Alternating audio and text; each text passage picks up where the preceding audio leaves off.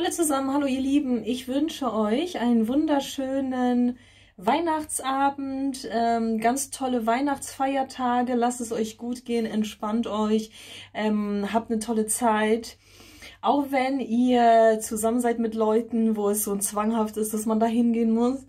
Vielleicht bist du ja mit Leuten zusammen oder mit der Familie zusammen, ähm, ja, mit Wahlfamilie oder mit dem richtigen Partner und so weiter, dann ist es ja wunderbar. Für alle, die zum Beispiel Weihnachten ähm, ganz alleine verbringen oder noch nicht mal Lust haben, ähm, sich was zu organisieren, also ich habe noch nicht mal Lust, mir irgendwas zu organisieren, beispielsweise.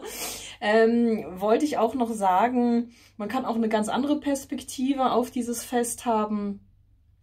Und zwar, wenn du zum Beispiel zu den Leuten gehörst, die da vielleicht so ein bisschen sich einsam fühlen könnten, ja, vielleicht, ne, so, dann muss ich dir auch sagen, das kann man auch so sehen, dass ähm, Weihnachten im Prinzip ja auch so ein bisschen so eine Schafherde zusammen zusammenhält. Wie soll ich das sagen? Also diese Konditionierung, die, diese Erziehung dazu, dass man äh, sich doch bitteschön unwohl fühlen muss an Weihnachten und heulend in der Ecke sitzen muss, wenn man jetzt kein, keine Schafherde um sich herum hat. Ja, ich sage das mal ein bisschen bös.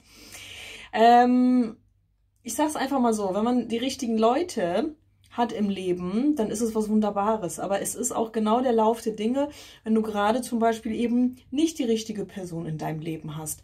Und dann kannst du es dir trotzdem gut gehen lassen. Du kannst was für dich tun. Du kannst an deiner eigenen Berufung arbeiten. Du kannst dich in eine Badewanne lege, legen, ein tolles Buch lesen. Ähm, dieses, es ist, eine, es ist uns auch anerzogen worden, angeblich uns äh, doof fühlen zu müssen, wenn wir jetzt nicht ein Teil von dieser Herde sind. Wisst ihr, was ich meine?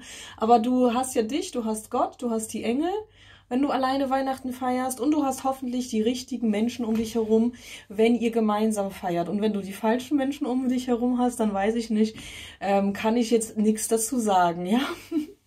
Aber was ich einfach dazu sagen will, ihr Lieben, lasst es euch halt gut gehen. Nehmt die Tage, um wirklich etwas für euch zu tun, für eure Familie zu tun, wenn ihr welche habt, für äh, eure Lieben zu tun. Und ähm, ja, lasst es euch gut gehen. Und schreibt doch in die Kommentare, wie ihr feiert. Das würde mich auch sehr interessieren.